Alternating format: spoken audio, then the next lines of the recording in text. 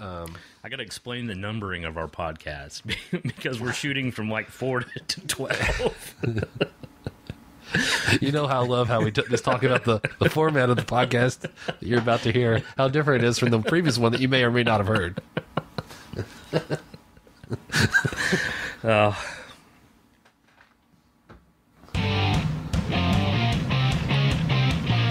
All right, everybody. This is episode 12, 12. 12 of the Don't Tell Me My Business podcast. I'm Vince DeGeorge, and joined as always with Chris Herndon. Hello, everyone. All right.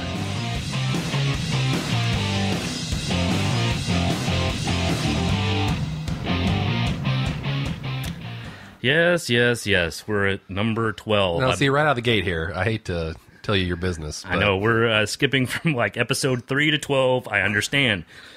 But if you check our podcast, what we've done is kind of renumbered everything from the very beginning. uh, because I was putting like episode w- or uh, season one, and I don't think we're going to have multiple seasons. Uh, I think we're just going to keep on going. One big, long, endless season. And uh, I've only left uh, room for three numbers, so uh, episode episode nine nine nine will be our last. Wow. Yeah, so we've got something to look forward to. You have something to look forward to with 999 being our last.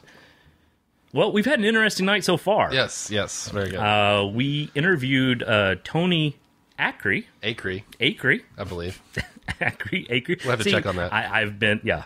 I, I've been calling him the wrong name for years and years, and he never corrected me. He did correct me tonight, and, and I've already probably screwed it up once. But Tune got- in, tune into the podcast featuring the interview with Tony uh, about his his novel, Yep. Hand of God. Hand of God. by, And, uh, and if nothing else, you will learn the correct uh, correct uh, pronunciation of his name. hopefully. It will be out on uh, on around wednesday. It's uh, it's monday night here. Uh, this podcast will be out on tuesday. I'm telling you the timeline like you're not already listening. You're like it's, it is tuesday you dumbass. Hopefully you're listening. Oh, you, i guess you could be going to previous episodes. I am talking to you in the future right now. This could be years from now. And someone's saying I want to hear some of Vince and Chris's old stuff. I've heard all their new stuff, which is fantastic. Only stuff from Mondays. yeah, only the stuff from Well, this is this is one of our world renowned Monday podcasts that will actually air Tony Acree, Tuesday. Acree, Acree, Acre. Tony Acree's book is now a major motion picture, and he mentions in an interview that he had a, a, another interview with these two guys, Vince and Chris, and I'm coming back in time to listen to that. This is that episode where we actually interviewed him earlier tonight. Well, it's a good thing you didn't see your future self when you came in here earlier. Well, it is. Uh, I would have called a, uh, caused a space time rift, uh, possibly destroying the universe. So it is a good thing that I did not see myself earlier. Uh, and I am a vampire, so I can't see myself anyway. in Well, the mirror. In the mirror. Right. Well, there's all these mirrors in here. That's that's why there's all these mirrors in here. Yeah, it's I was a little clearly, confused by that. It's clearly mirrored uh, on the ceiling mostly, um, and I, not necessarily for vampiric reasons. Um, I thought maybe we were going to uh, reenact the climatic final scene of uh, Enter the Dragon. there's mirrors in that. I have entered a dragon in here actually. Oh, You know, hey, hello. So uh, let's see what else we got going on. Uh, we saw the movie Machete Kills. We'll, we'll mention some of this later, but we are going to do an interview uh, an interview with Machete later. no, we're gonna we're gonna review that actually, um, and uh, it's not favorable. You're, you're gonna have to stick around for that because it's later in the show. I think that's actually machete. Machete. Better get that right before the interview. Uh, can we just acknowledge last Friday in general, please? It was not a good day. No. Not a good day in the in the early lives of the DTMMB media. So if you're coming back in time to listen to our old shows, this is where you want to stop. Or you don't you can go back further, just skip weekdays number I don't know, number 4 maybe. I think that was actually number 49.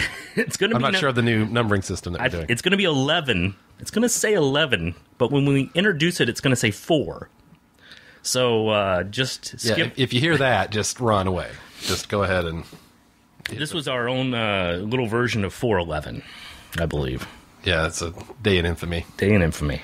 Uh, we uh, we had a horrible podcast. We we weren't happy with that at all. And and then afterwards, instead of seeing something like Captain Phillips, There's some good stuff out in the theater. Rush, um, there's plenty of great, great things. Almost anything. Yeah, almost anything else except Machete, which we saw and we'll review later. But first, uh, let's let's go back to uh, some corrections and omissions. Huge mistake. I've made a huge mistake. I've made a huge mistake. I've made a huge mistake. I made a huge mistake. I've made a huge mistake. I've made a huge mistake. You've made a huge mistake. I've Made a huge mistake. I've made a huge mistake. biggest little mistake I've ever made. I made a huge tiny mistake. I've made a huge mistake. I've made a huge mistake. I've made a huge mistake. I've made a huge mistake. Yeah. Um, as usual, we have a number of corrections uh, to handle tonight. It'll take a good 20, 30 minutes. Yeah. So um, now, one of the if you've been listening to the podcast all I don't what are we on now twelve. 12. Uh, if you've if you've been listening to all twelve podcasts, um, you'll know that an ongoing theme with us is uh, we talk a lot about Ed Harris, especially his role in Apollo 13. Somehow, Apollo 13 has come up, I think, in at least 10 of the 12 podcasts um, that we've done. Now, um, Ed Harris played the mission control and flight director, and uh, last week we filled in the blank and said that he was uh, actually portraying Mr. Gene Kranz, um, who uh, was a successor to Chris Kraft as NASA's flight director for Gemini and Apollo missions. Kranz uh, is somebody that uh, has been portrayed in various films and also done a lot of documentary work himself. Um, and he's kind of you know one of the heroes of the the NASA, uh, the Apollo, Gemini, the, the moon missions especially. Um, he's a major figure, and uh, it you know we were talking about him last week, and it came up: is he alive or dead? And I'm, I'm happy to announce here on the show tonight, just get things off on the right foot, that uh, I believe uh, Mr. Kranz is still alive. Congratulations, Mr. Kranz. Yeah, he would have turned 80 in August. So uh, Well, you said would have. well, I guess he did turn 80. I'm sorry. Oh, okay. I'm sorry. He turned 80 in August. I thought we had a sudden turn of events there. No, no, I, I just I was saying that kind of in the subjective case, but uh, uh, so anyway, he's he's eighty, um, and uh, we're uh, glad to announce that he's alive and kicking, and we wish him continued good health. Great. Awesome. Now, uh, uh, another thing that came up, and, and Vince, I'm sure you remember this. We were talking about absolutely fabulous and A uh, little ab fab. little ab fab, and you mentioned uh, perhaps it'd be a good idea to have an American version of that, and I said that I thought that that had already been done. Well, um, just to set the record straight, um, there was a, a, a couple different projects proposed to do that. One of which involved uh, uh, uh, Roseanne Barr, um, and would have starred Carrie Fisher and Barbara Carrera. Carrie Fisher? Yeah, Princess Leia herself? yeah, yeah. Uh, sounds like a pretty could have been a pretty you know pretty nice uh, production, but that fell through.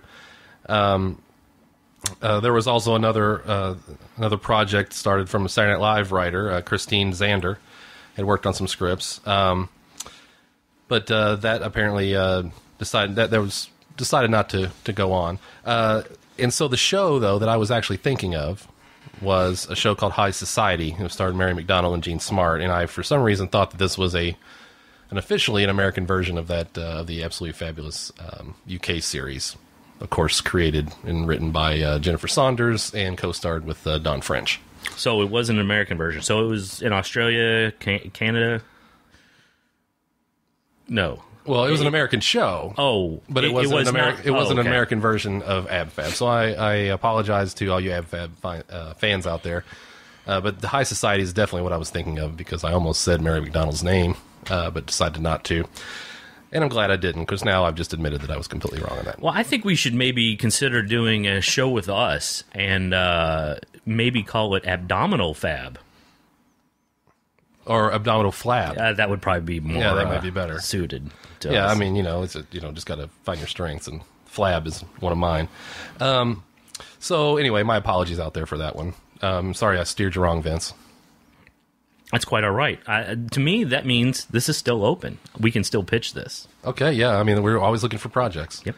Now, another, another project, uh, or another uh, correction, I should say, we might want to think of as a project as well. We can we can do this as a project too if Yeah. you wish.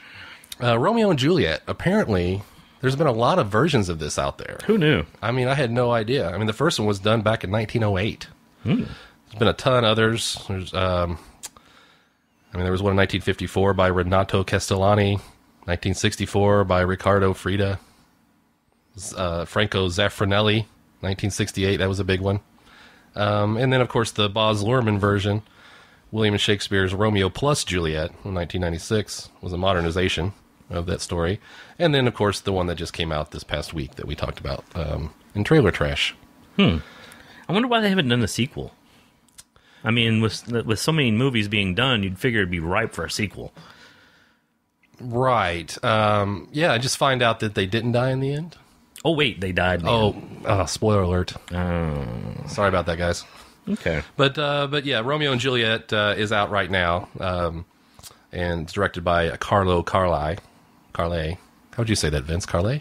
Um, Carlisle, Not Carlisle. definitely not that. But uh, we would. Um, that was adapted by Julian Fellowes, and of course, um, is not something that was literally from the Shakespearean text, from my understanding. Oh, really? Yeah, that's what uh, that's what my notes say. so it must. so it must be true. Yeah. Oh, I see something coming up next that that was very controversial the last show. Now this came up uh, on the aforementioned terrible podcast on Friday, our weekdays podcast that we've already, uh, yeah, considered suicide over. but uh, one of the one of the, the, the moments that that came up was uh, a little confusion on the movie The Thing. Actually, it was more of a confusion on the reference that was being made. Um, and I mentioned at one point that there were uh, multiple versions of that movie. I was sort of right. Um, there are three. There have been three movies uh, based on the same book called "Who Goes There" by John W. Campbell Jr. The first one was "The Thing from Another World," 1951. Howard Hawks and Christian Nyby. Um, that would have been the original that I was thinking of. It was actually called "The Thing from Another World," uh, not affiliated with the um, with the soap opera "Another World" that I'm aware of, but there may be a connection there. And then, then of course, the thing 1982 John Carpenter version that starred Kurt Russell. Um, and then recently, uh, in 2011, there was a thing, another uh, movie called The Thing that was based on the the novel starring Mary Elizabeth Winstead. This was adapted from the same book, but was actually intended to be a prequel of the Kurt Russell version. So, just to clear that up, those are the three movies: 1951, 82, and 2011. So, uh, if you want to go and you know do a little research to understand where we were going with that failed attempt at comedy, um, feel free to go and watch all three of those movies and read the book. All based on the Addams Family hand that would come out of the box. Yeah, I, they took a lot of liberties with it, but yeah, loosely based on that. Uh, I think there was another one called uh, "The Brother from Another Mother." I don't know. Maybe that was unrelated. Yeah, I'm not sure on that one. Let's go to our next segment. What do you say? I'd love to. All right, everyone, it's time for the segment where we review the things that we've consumed in the past week, whether it's movies, TV. This guy's got a good voice. Anything. This is The Look. Sexy. Oh yeah, Shook, shook. I like it. Much better than that previous song. Heck of a lot better than Roxette.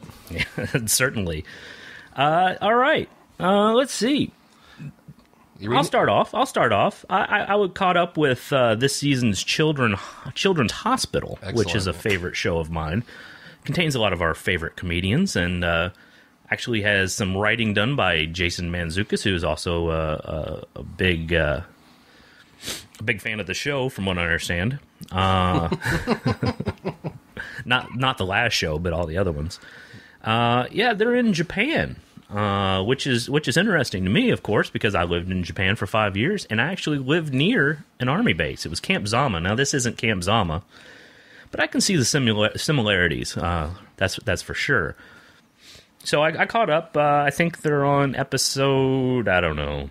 13, 14, but I watched, uh, binge watched them uh, to get caught Right, up. you probably uh, you probably seen more than I. I've seen quite a few of this episode, but I don't think I've seen every one of them. So if you binge watched, you got me beat. But they've they've moved now to they're they're running a uh, a military clinic on the on, on the military base in Japan, correct? And uh, same same old That's gang. right. Henry Winkler leading the crew. Mm-hmm. Yeah, Ken, Ken Marino, uh, yeah. Ken Marino. Um, uh, was it Rob Huebel? Rob Huebel, yep, and uh, Rob Corddry, Rob Corddry, who's a producer of the show.